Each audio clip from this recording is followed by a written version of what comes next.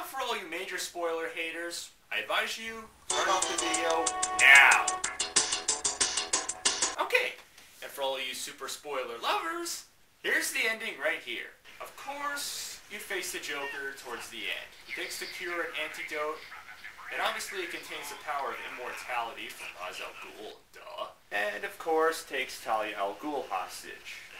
Apparently Batman's heart has gone out to her. There, considering she's a dead woman. And also you find that there's not one but two Jokers. Wonder why, right? Oh shit, it's Clayface. Holy shit, that is awesome. So of course that's your main boss fight with the Joker. But no fight with the Joker hands-on. Just a cutscene.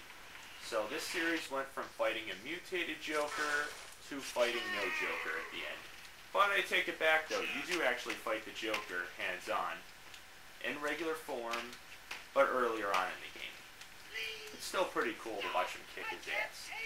But now this brings us to the ending cutscene. The Joker actually dies from the disease.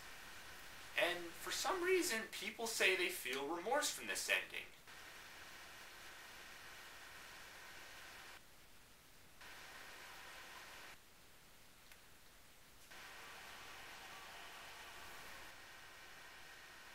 You know, I'm starting to feel remorse too as well.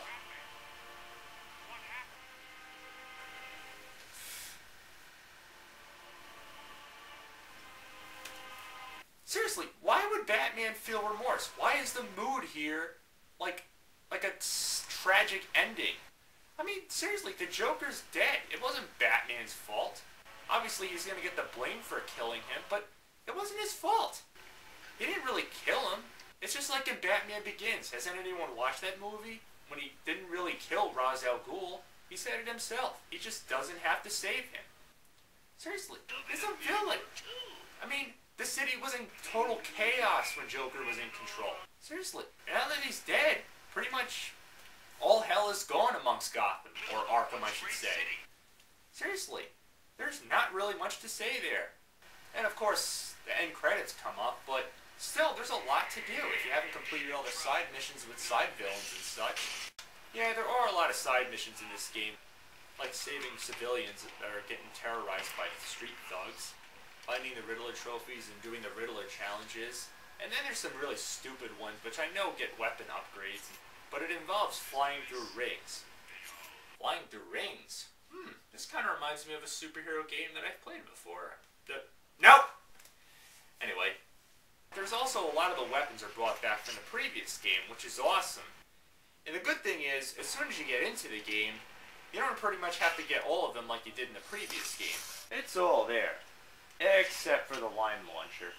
But there's an upside to it. It has an upgrade allowing you to go in not one direction, but in another direction when you slow down. Isn't that awesome? And you even get some new ones as well, as you can guess. Like the smoke pellets, which help you escape when you're surrounded by a bunch of thugs with guns. The freeze blast, which can be used for not one, but two purposes. One, when you're trying to get past those annoying bursting pipes. Really, you can't get past them until you get this item. And number two reason is to throw it in the acid water into, yes, turn it into an ice raft. And this is where you can use the grappling hook to apparently move the ice raft. But this can get pretty challenging at a lot of points. You really got to pay close attention and be aware of obstructions that can get in the way. The electric charger, which helps operate electric equipment, but mostly helps open electric doors. And hell, you can even use it on enemies too. Yeah, taser the shit out of them. Cool. And even some new cool moves are in there, like sliding under a door that's not all the way open. And as for the combat moves, yeah, most of them are pretty much there, plus a lot more. Of course, because you got new enemies in the game that you have to fight. There's ones carrying armor, in which you not only have to disorient them, but also you can do a major punch attack. Damn, look at him, he's out of control. Freaking awesome. And then there's the enemies with the shields. You get on top of them and BAM! That's freaking awesome. And the enemies with the knives, which takes a little bit of dodging and then a little bit of punching. And now you got the returning enemies with the tasers, and of course the ones with the guns. I'm sure most of you are familiar with these moves. And also you can do a double headbutt. Bam! That's gonna leave a mark. And also the detective vision and the Joker teeth make a return as well. But as for the gliding, well, a little bit of a different story. Because there are some new additions that have been added over the last game. I mean, yeah, it wouldn't be a Batman game without the gliding. Not only can you glide, you can also dive down too. This can get a little tricky control-wise, but it, but obviously you have to have a lot of height to get a lot of wind velocity, and of course you have to dive all the way straight down, and there you go, you can bounce right back up. Sweet. I have nothing against this move, I just suck at doing it. Enough said. Now, there are some downsides to this game. First thing that most people notice is, yeah, the boss fights are fairly easy. All you do most of the time is either use a weapon and or beat the shit out of them. Being that, yeah, it's very self-explanatory that you have this whole tutorial thing right up there. You have the option of turning it on or off right there, but yeah, it's a little too simple right there. But it's still cool watching Batman beat the shit out of people. I mean, that slow motion right there, can't stress far enough that it's bittersweet. Some of the dialogue is a little bit cliche too as well. But what do you expect? It's a Batman game. You can expect a lot of it out of a lot of the villains and the cutscenes, the interactions that Batman has with a lot of these characters. He'll be somewhere cold. It also would have been kind of cool to drive the Batmobile or the Batpod around, being that you're in the city this time. But hey, I'm not going to go that far. So, in other words, Yes. This game definitely lives up, or in some cases, exceeds the hype surrounding it, by all means. Just like the first game, it ain't afraid to put on the cape and say once again, I'm Batman.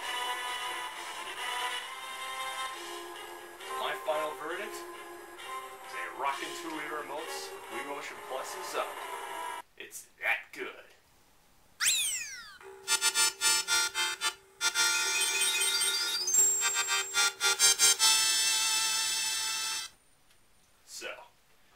This game being the successful part of the franchise, would I say it's the best game of the year?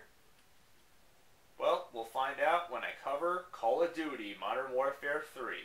And I have yet to review that one, so until next time, happy gaming.